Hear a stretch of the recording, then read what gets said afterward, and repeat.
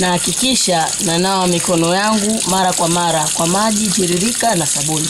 Na ninapokuwa maeneo ambayo kupata maji tiririka na sabuni ni ishu, sina shaka haka katakasa mikono kangu kana niokoa.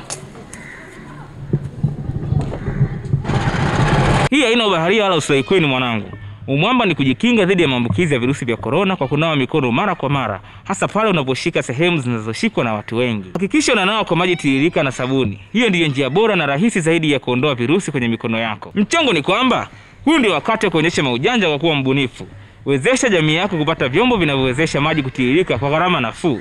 Tujikinge na tuwakinge na wengine, korona inazuilika.